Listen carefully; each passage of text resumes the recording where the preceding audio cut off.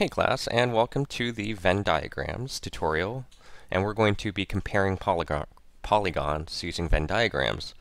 Well, why Venn diagrams? They're visual for us to compare two or more different concepts or ideas.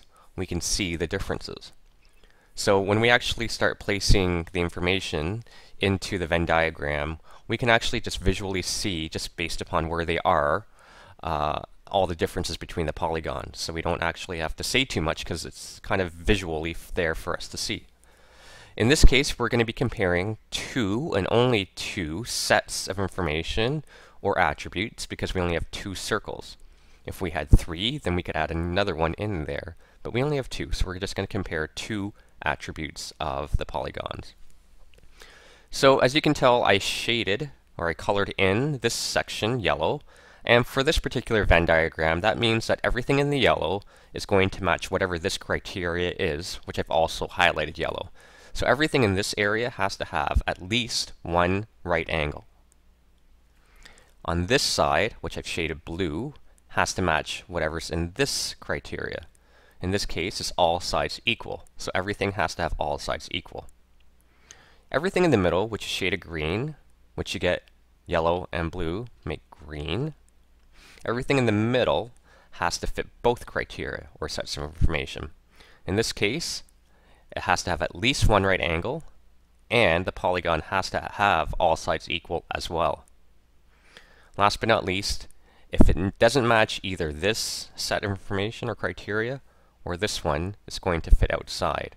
So anything that doesn't have at least one right angle, or all sides equal, will be placed outside of the circles because it doesn't match any of the criteria. So let's try it out. I've drawn pictures. I've drawn pictures over here that kind of match just so that I can have a visual to look at while I try to sort these polygons. So here we go, the equilateral triangle. Okay, the equilateral triangle over here, well, it doesn't have at least one right angle. They're all acute. And all sides are equal, right? So we're going to place it into this section because it has all sides equal.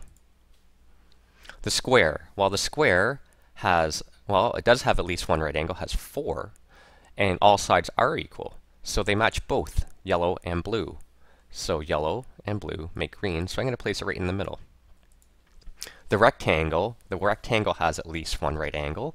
It has four, and all sides are not equal. These two are longer. So I'm going to place it in, well, all sides are not equal, not both, but has at least one right angle. So there.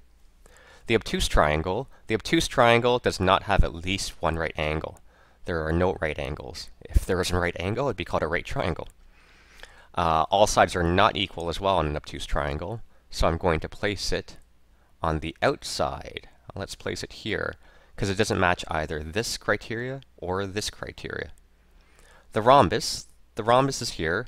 Uh, in a rhombus, well, it doesn't have one right angle because these are acute and these are obtuse. So no right angles, but all sides are equal in a rhombus. So I'm going to place it here.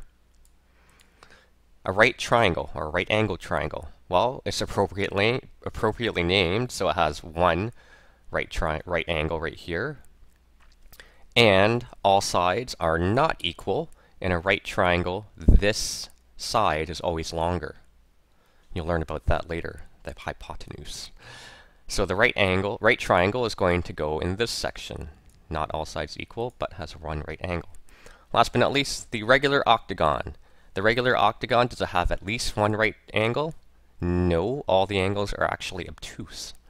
Are all sides equal? Well, yeah, because it's in the name actually, the regular octagon.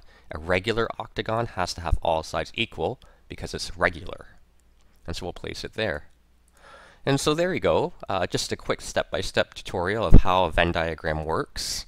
You don't always have to have, I'm just using these two for an example. We could have put down has at least three sides here and maybe has uh, all acute angles. You can mix and match whatever attributes you want to place here and then you can resort them out as you wish. But I just wanted to give you an idea of how the circles match and how they work and where you place them and the ideas of where you place them. And there we have it, a under 5 minute tutorial on Venn diagrams.